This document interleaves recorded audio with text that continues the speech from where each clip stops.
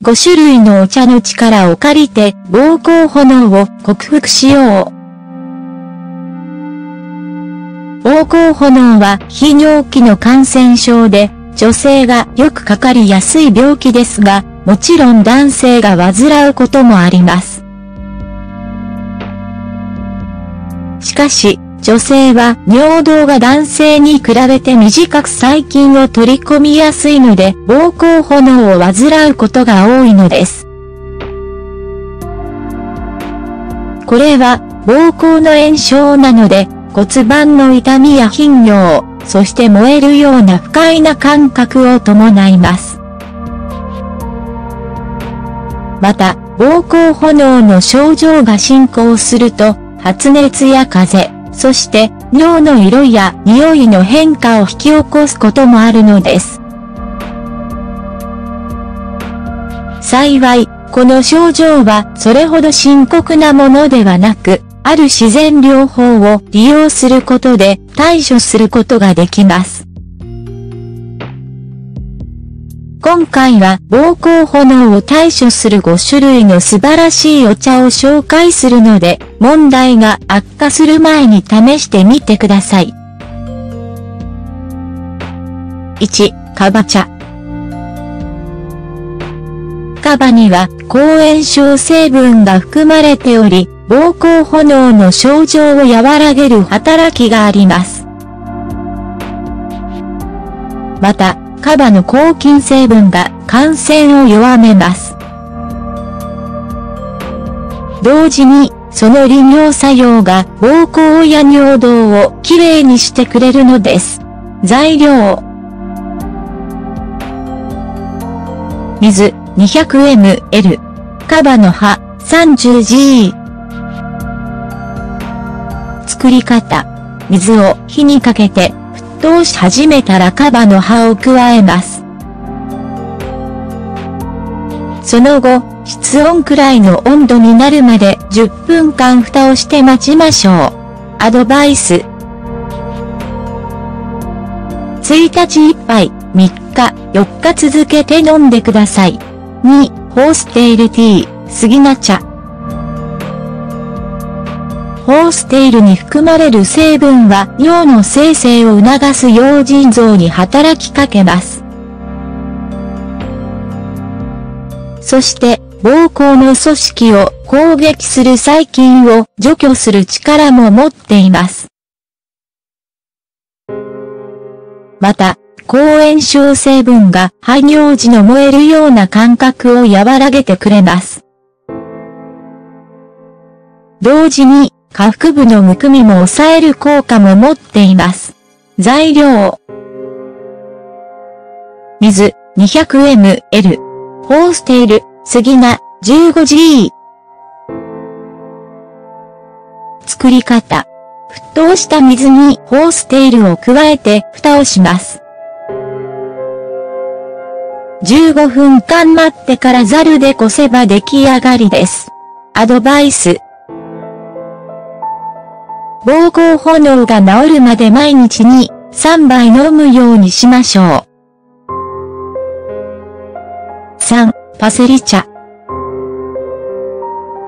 パセリ茶は抗酸化物質と食物繊維が豊富で尿道を健康に保ってくれるため、膀胱炎のような感染症を和らげる力を持っています。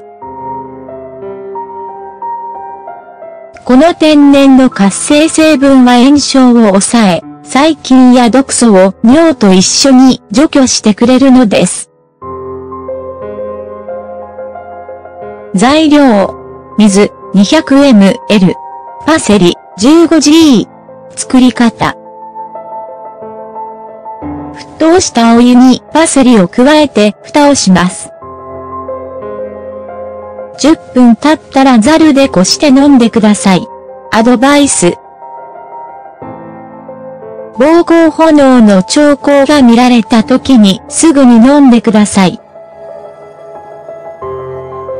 治るまで6時間ごとに飲むようにしましょう。4、マシュマロルートティー。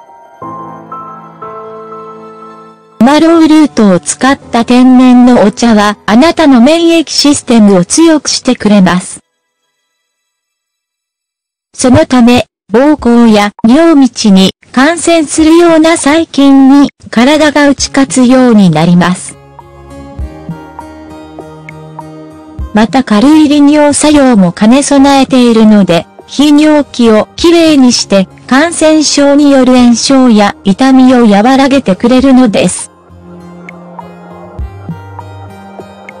材料、水 200ml、マシュマロウルート 15G、作り方。水が沸騰したらマシュマロウルートを加えてください。蓋をして10分間待ったら出来上がりです。アドバイス。膀胱炎らしき症状が現れたらすぐに飲んでください。8時間ごとに1杯飲むようにしましょう。5、コーンシルクティー、トウモロコシのヒゲ。トウモロコシのヒゲが抗炎症成分と利尿成分が含んでいることを知っていましたか？ほとんどの人がその事実を知らずに捨てていたと思います。しかし、これは非尿器の感染症に役立つ優れものなのです。このお茶は膀胱炎を和らげて頻尿や燃えるような感覚などの症状も抑えてくれます。材料、水 200ml、コーンシルク1つかみほど。作り方。水が沸騰したらコーンシルクを加えます。火を弱めて3分から5分煮ます。火を止めたら蓋をして15分間冷まします。ザルでこしたら完成です。アドバイス。毎日に3杯飲むようにしましょう。膀胱炎が治るまで、または3日間連続で飲むようにしてください。あなたは膀胱炎に悩まされていませんか？下腹部に痛みや炎症を感じることはありませんか？もし、そのような症状が現れたら今回紹介したお茶を試して膀胱炎を克服しましょう。